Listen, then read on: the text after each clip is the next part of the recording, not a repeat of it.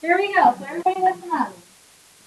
So this is going to be asked on the test, but this is an actually pretty easy part. If you pay attention, it should make sense to you. So um, pull up 5 for the white worksheet. So we learned function operations, f plus g of x, f minus g of x, f times g of x, and f divided by g of x. Now, guys, domain. I'm going to ask you domain. What domain is, is what possible x values can we plug in? Or you could graph the function and look where your function's growing from left to right. There's two ways of dealing with domain. Now, think about it, guys. The only time we're going to have a domain issue is if we're dividing by a function. Two functions being divided, correct, everybody? Because we can't divide by zero. So that'll be the only time we can't plug in certain x value in. Oh, no, not this again. So everybody, looking at number one on page three. Flip to page three. I need you to focus. So page three, we already did number one. f minus g of x was x squared minus 2x plus 2. Did we all get that as our answer? Now our domain, think about it guys, look up here because this should be the easiest thing to not miss. Isn't this a quadratic? Quadratics look like this, correct? So, don't they? This is an upward facing quadratic, so isn't it growing left and right forever? So our domain would be all real numbers. Now, once again, the other way of looking at it is, is there any x value we can't plug into this function? Well, no, we're not dividing by anything, so there's no potential to divide by zero. So our domain is, what x values can I plug in? Well, any real number we can plug in. Does everybody understand? Or if you look at the graph, it's growing from left and right forever. So, or you could write negative infinity to positive infinity. Both answers are acceptable. So look at number 3a. You did f plus h of x, you got x squared plus 4x. It's a quadratic. So what's our domain?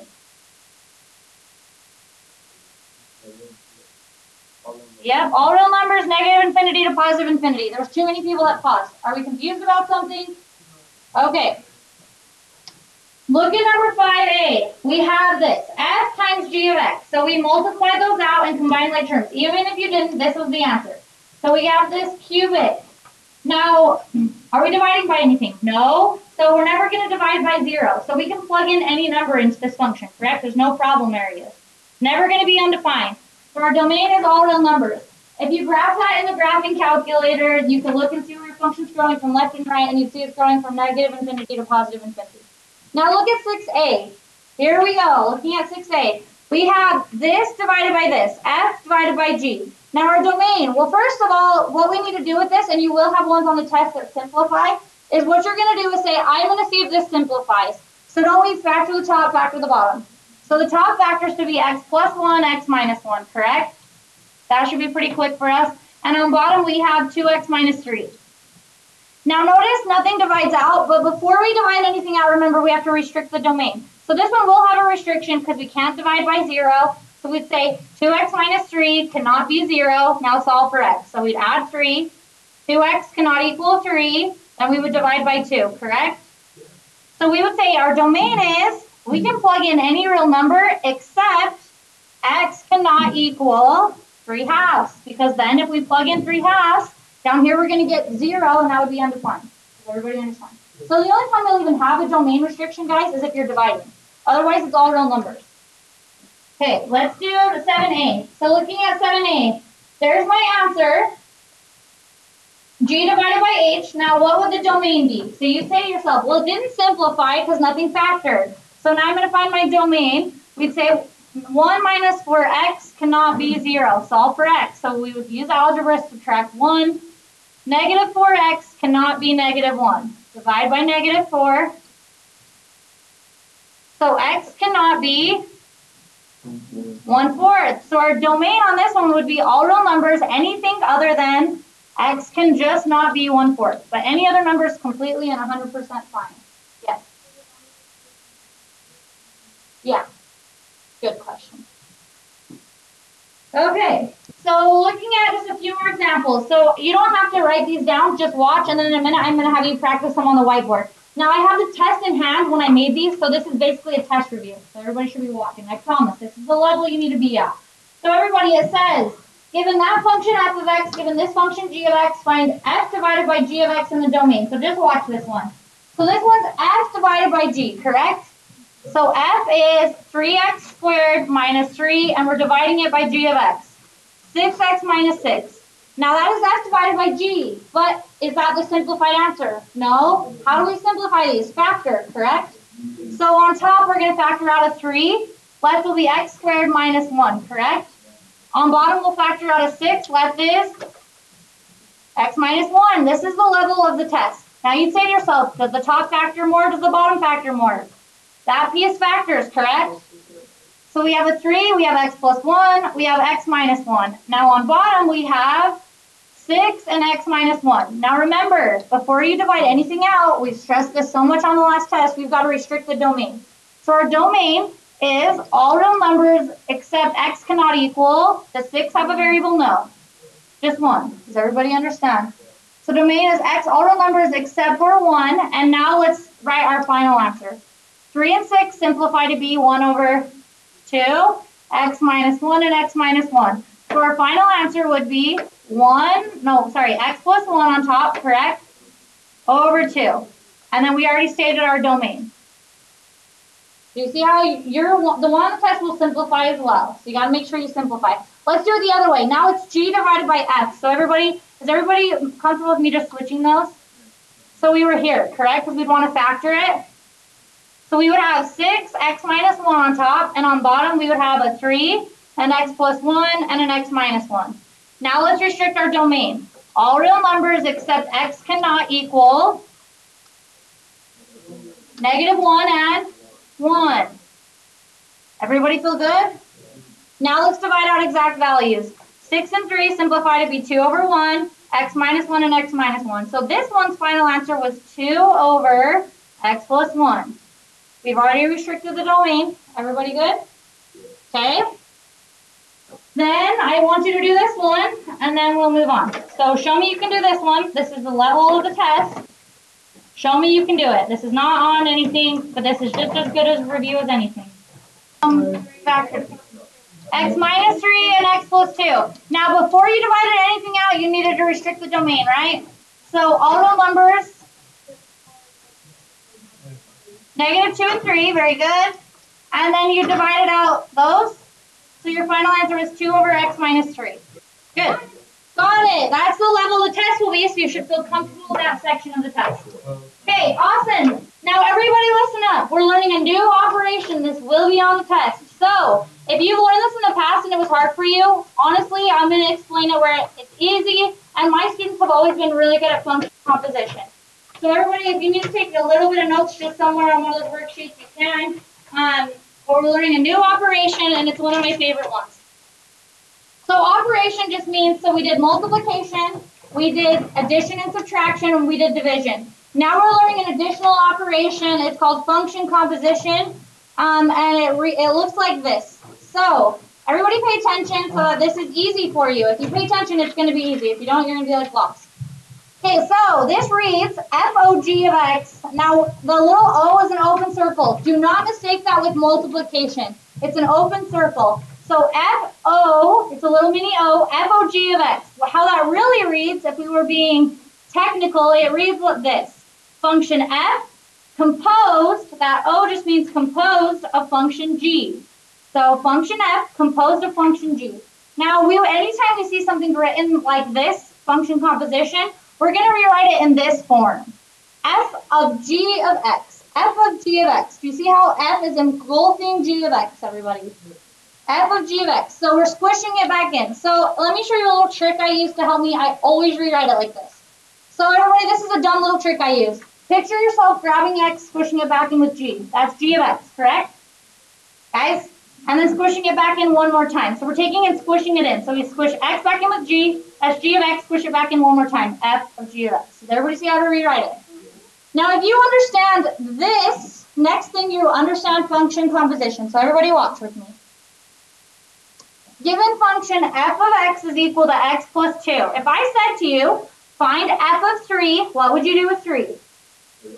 You, wait, you plug it in for x. So you replaced 3x with 3, correct? So we got 5, correct? You understand that you replaced this x with this 3. So now if I changed it and said what's f of x plus 1, wouldn't you do the same thing? You'd replace x with x plus 1, correct? Just like you did 3, it's no different. So instead of an x, there's an x plus 1, correct? x plus 1, and then we still have plus 2, right, everybody? So now let's combine like terms. x plus 3. That's function composition. You just did function composition. You compose function f of this different function g. Does everybody see that? Okay, now look at this. f of x squared. What would we do?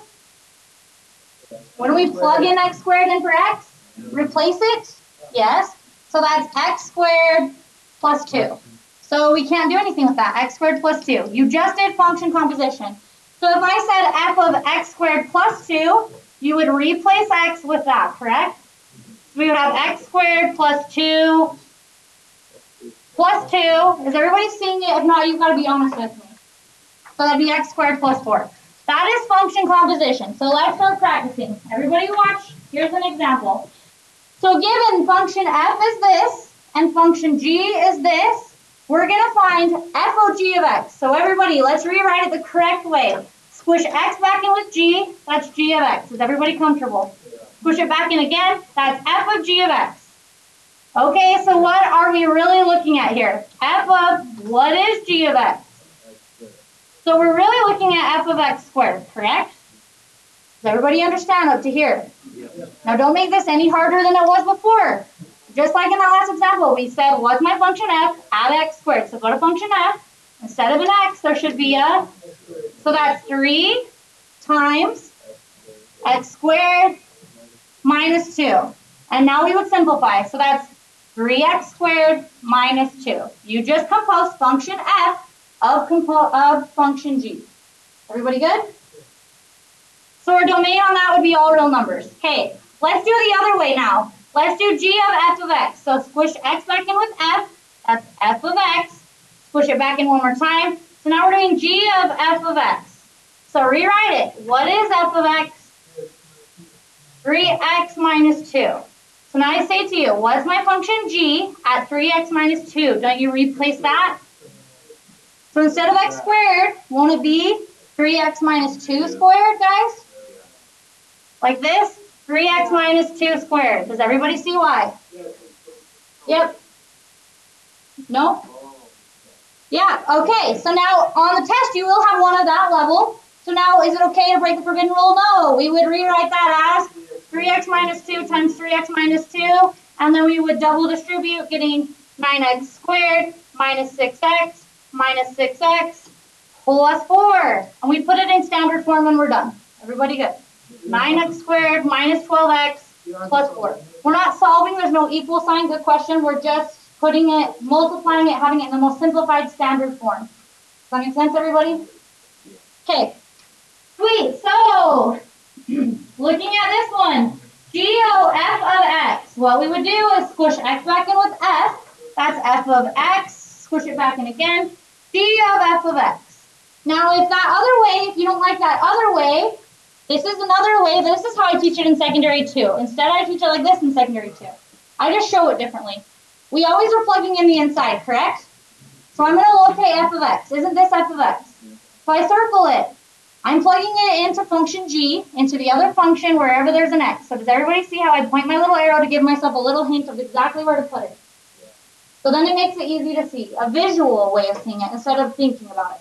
So that's just whatever way you like it. So instead of an x, it's that. So we have this x cubed plus 3x plus 2 minus 3. And now we're going to combine like terms. There's nothing multiplied here.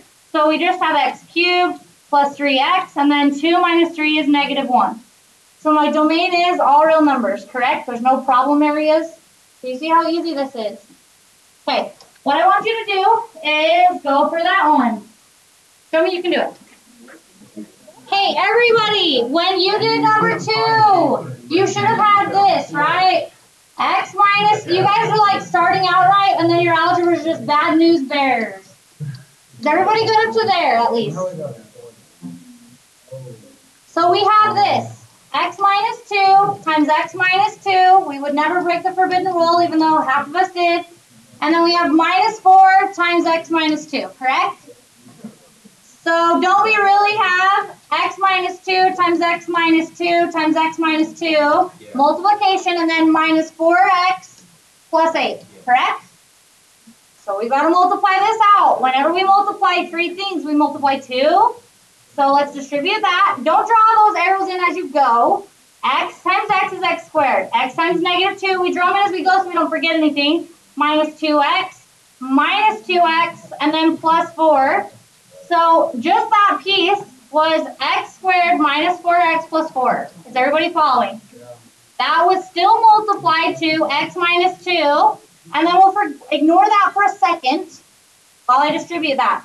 x cubed minus 4x squared plus 4x minus 2x squared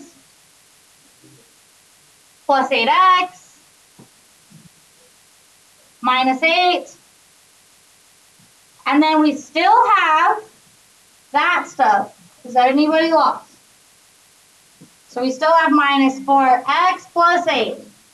So then you'll combine all like terms from there. Look up here. There is a way easy way to do this. So watch, because you did it the hard way. I had you practice one by yourself so you see how to do it both ways. So if you already did number 10, watch how much easier this way is. Watch. Everybody should be watching. This is f of g of 1. We would squish 1 back in with g. Isn't that g of 1, everybody? Push it back in again, f of g of 1. Now what you should do is say, I'm going to do this the easy way. What is my function g of 1? Does that mean what's my function g if I plug in 1? Guys, 1 squared, 1 squared plus 2 is 3. So we're really doing f of 3. So now you're saying, what's my function f if I plug in 3, correct? Plug in 3. 3 plus 3 is 6. So our answer is 6. Everybody good? We worked from the inside out. So g of f of negative 2, that'd be g of f of negative 2. So you literally say, what's my function f at negative 2? Negative 2 plus 3 is 1, correct? So now I'm doing g of 1. Does everybody understand? So that'd be 3. 1 squared plus 2 is 3.